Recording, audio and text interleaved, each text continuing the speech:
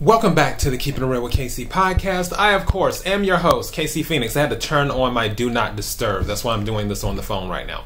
Okay, so before I go any further, KIRWKC.com, main podcasting platform. This podcast is carried on Apple, Spotify, Google, iHeartRadio, Pandora, Overcast, Bullhorn, Amazon Music, Audible, and several other podcasting platforms. Please feel free to listen to this podcast on whatever platform is most convenient for you. KIRWKC on all the social media platforms. All right. So I'm going back to basics. I have decks that I have not used in a while. So I'm switching things up a little bit and using some of those old decks. What I'm doing. One of those decks I haven't done in a while is Postcards from Spirit. So I did the pre shuffle and a card came out. It didn't want to go back in the deck, so I set it to the side and I plan on taking another card. I will clarify those cards because it's like, okay, why did these cards come out? So I plan on clarifying those cards with the regular tarot deck. All right, now to, we're already in the full moon in Gemini right now because it's, it's it started what on the seventh or the sixth goes until tomorrow. That energy might have people in their head right now so be careful with any negative self talk. For some reason, for the last 24 hours, I have been really, really giddy. so I don't know what that's about as related to the full moon in Gemini because I don't see Gemini as a giddy sign. but whatever. I've been giddy for like the last 24 hours.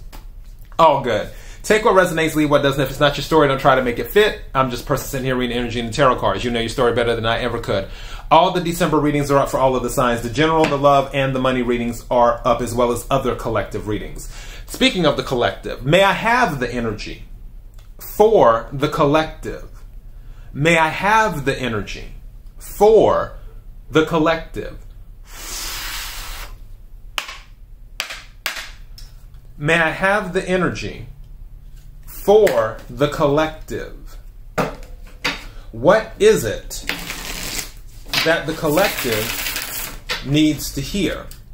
What is it that the collective needs to hear? This is so random.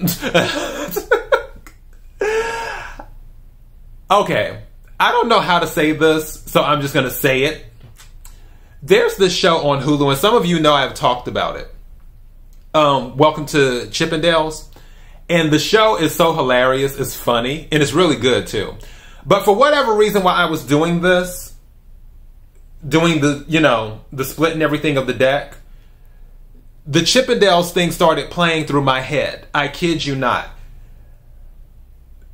Somebody might be thinking about going into dancing, exotic dancing. so I'm just throwing that out there. And you know what? It's an honest living. Who am I to judge? But someone might be thinking about going into exotic dancing. Just throwing that out there because I don't see how that is going through my head while I'm doing this and splitting the deck. Like, so yeah. But like I said, honest living, I actually know some dancers and they make decent money. Some um, people that I know, like a few girls that I know, they only did it on the weekend. Is what they did. They um, do weekends and then you know make like a thousand dollars and then that was it. That was just like their extra money. So Yep. All right. May I have a card, please, for the collective?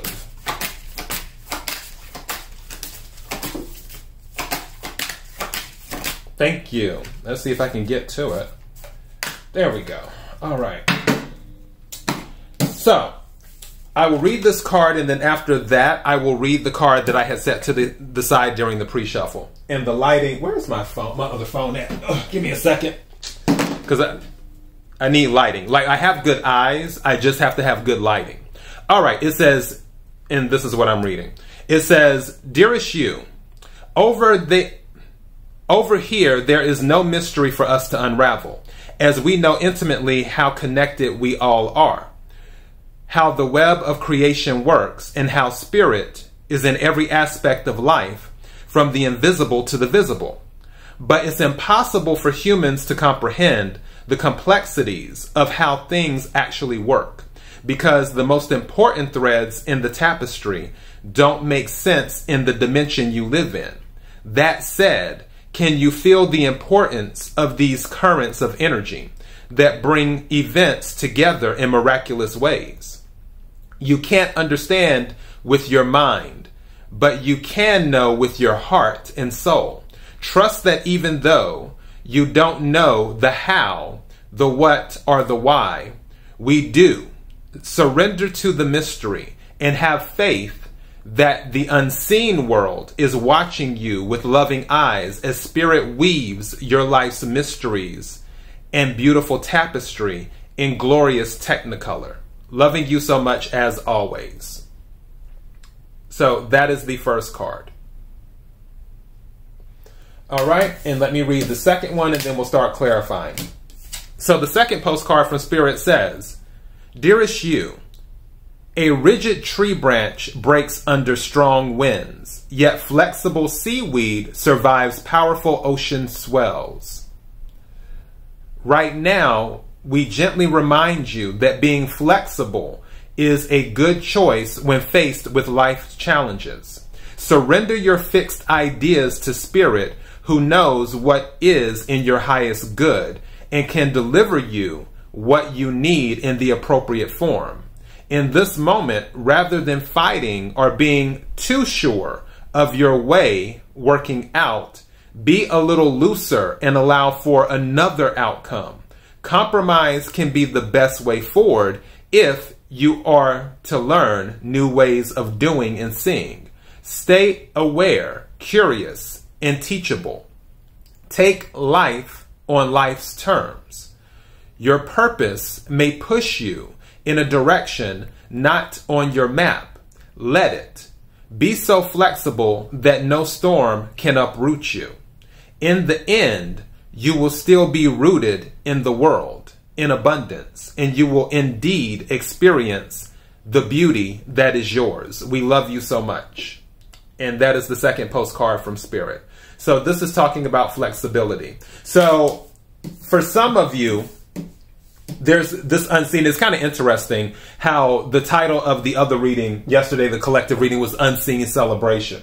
But this is talking about um, unseen mysteries, is what um, this is talking about. And also about having faith that everything will work out and that you can't always see what's happening behind the scenes because you're in the 3D, you're stuck in this world. You can't see what's going on in the spirit world. Only they can see that.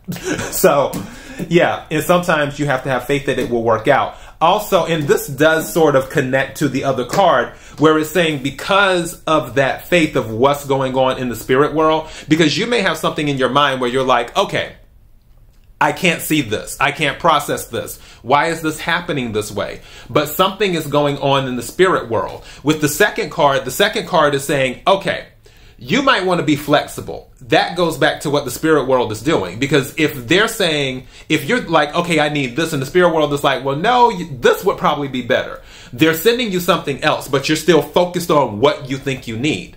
And the spirit world is like, no, no, no, no, no, trust us. This is going to be better. But you can't process it in your mind. This is saying with the second card that you have to be flexible so you can receive what the spirit world is looking to give you, what the divine is looking to give you, what God, whatever you want to call your higher power, whatever it's looking to give you, you have to be flexible so you can receive it because it may not be, you know, in point A, it may end up being in point C somewhere. In you have to be able when you're driving it's like okay you know how when um, you have like OnStar or whatever you use when you put the address in and you're going somewhere? And if you miss the turn or whatever it says rerouting which kind of gets annoying sometimes. But yeah it says rerouting. Take turn here instead. That's kind of like what it is where you have your mind on something, but the universe is like, okay, this is going to be so much better for you. We need to reroute you. And that's where and that's where the signs are coming in. Rerouting, rerouting, rerouting. And you have to be flexible to pay attention to those signs, take heed to them, and follow the signs so you can get to point C or whatever it is, so you can get whatever the universe is trying to give you. Again, take what resonates, leave what doesn't. Let's clarify some of this as well. Because some of you, I honestly feel because Five of Pentacles was at the bottom of the deck when I took it out of the box. And I feel some of you may have been losing hope or you might be losing hope on something. But I'm telling you now, the universe is very good at surprising people. And the Tower card came out during the pre shuffle too. So also the Nine of Pentacles came out during the pre shuffle. So, yeah. May I have the energy for the collective. May I have the energy for the collective.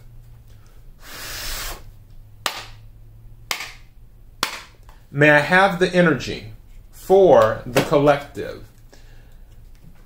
Can we clarify the energy on the table? Can we clarify the energy on the table? Can we clarify the energy? Something told me to take this card, set it to the side on the table. Yeah, bottom of the deck is Hangman. That's why it's hard to see with the lighting, but here we go. I have to turn it this way so you can see it. Um, bottom of the deck is Hangman. I honestly feel some of you are losing hope because you feel stuck. That's the train in the background. Some of you feel stuck. I guess that's the confirmation. Where you're like, okay, nothing's moving. And that's going back to what the card um, was saying is that the, they're aware of everything that's going on behind the scenes. You're not aware of it because you can't see it. You, your mind can't process it because you're in the 3D. You can um, feel certain things, but you don't know the play by play. And that's what might be driving some of you crazy because you're like, okay, I'm doing what I can, but I'm stuck. I'm not going anywhere. And also, I just heard something totally random. Someone may have a family issue in the sense of you have to do everything for the family. Because I was thinking about sacrifice, and there's something about taking care of family popped into my head. Whatever. But again, take what resonates, leave what doesn't. So maybe that's something where you're trying to do your thing and live your life, but because of those obligations, you may feel like you're stuck. Don't worry about it. It's only for a while. Just don't dig too much into it. But also, this time is to give you enlightenment too, because that's what the hang card is. A hangman card is about. Thank you. I was thinking about the Four of Pentacles. I was about to mention that earlier, but I didn't say anything. Four of Pentacles came out because when I was talking about the Nine of Pentacles and the Five of Pentacles, I was going to tell you um, nine minus five is four. So it's kind of like, and then, you know, here's the Four of Pentacles. So with the Four of Pentacles, this can be about foundation. It can also be about holding back, holding on to something. For some of you, you're still holding on to whatever this thing is that you think it is that you need. And not saying that you won't get it. I just feel like there may be a missing step or there may just be something where you're going to catapult, you're going to um, leapfrog over the step where it's like, okay, you know what? The universe is saying you don't need this part. Just go, you know, pass go, collect your $200 and move on to the next thing but you're holding on to whatever this is. Now, the card that followed it is the Ten of Wands. And also, Pentacles is Earth energy, Capricorn, Virgo, Taurus, Wands is fire energy, Aries, Leo, Sagittarius. You're holding on to this with this Four of Pentacles, but what you don't realize is that this cycle is pretty much over. Whatever it is, you don't need it right now. And maybe you don't need it at all the universe knows better than me. And also, you probably would too. But whatever you're holding on to, it's a burden. It's a lot of weight because 10 is like the heaviest of the heaviest. And I feel you're going to have to let this go, is what you will have to do. Let me something else right quick.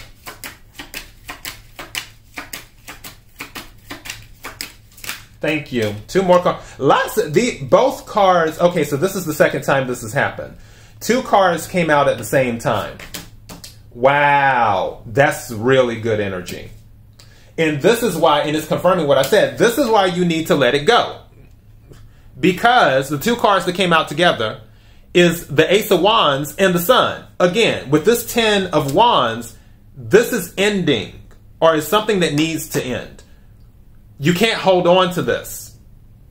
Because if you're holding on to this and you're not being flexible, you're missing out on this. You're missing out on the new beginning with the Ace of Wands. You're missing out on the sun, which is Leo energy. The sun is about happiness. And mind you, the sun has been coming out a lot lately. If you've been watching my readings, you've noticed the sun card has been coming out a lot. So, and that's what I always tell people when you watch tarot readings, of different people, pay attention to the cards that come out because usually the energy is the same. You can have the same energy across the board and have different messages across the board too with the same energy. So keep that in mind too. But the sun is here. Ace of Wands is here. But you're holding on to something, you're not being flexible, you're being rigid. You're like, oh, it has to go this way. It can't go any other way. It's almost like, let me give you an example you're saying if you need to go to the airport and you're like, well, the only car I'll ride in is a Mustang. I, I won't ride in any. The reason I'm saying it because I love Mustangs. Mustangs is one of my favorite sports cars. But it's like the only car that I um, will ride in is a Mustang. I will not go to the airport in any other car. Really? All you need is a car to get to the airport to get on the plane and take off. The only thing you're going to go in is a Mustang. Make it make sense. This is kind of sort of the situation with what I'm talking about. You're saying that the only way you're going to get to this point is by taking this particular route or this particular type of transportation. But the universe is saying, no, I want you to take a different type of transportation and I want you to take a different route, but I'm going to get you to the same place you're getting to. That's what it's saying. But you have to let go and be flexible so I can get you there so I can give you the Ace of Wands and the Sun. That's what it's saying. All right, so that is your message. KIRWKC.com, main podcasting platform. This podcast is carried on Apple, Spotify, Google, iHeartRadio, Pandora, Overcast, Bullhorn, Amazon Music, Audible, and several other podcasting platforms. Please feel free to listen to this podcast on whatever platform is most convenient for you. KIRWKC on all the social media platforms. Till next time, be blessed.